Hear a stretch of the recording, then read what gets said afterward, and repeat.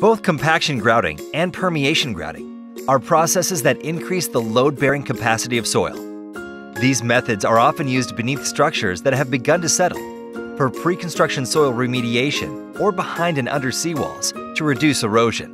Slabjack geotechnical injection grouting increases the compaction of loose soil, fills voids, and binds organic and granular material in a polyurethane matrix, which greatly increases the soil's ability to support heavy loads and resist erosion.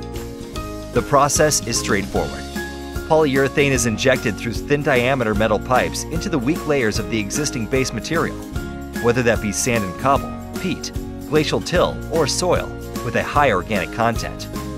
Using a large rotohammer, pipe is driven to the necessary depths and an injection gun is attached to the pipe. Hydrophobic polyurethane grout is then injected. The grout expands 5 to 10 times its initial volume. The expansion of the grout follows voids, fissures, and encapsulates organic and granular material. This process generally involves very little site disruption and is often completed in a single day for most residential projects.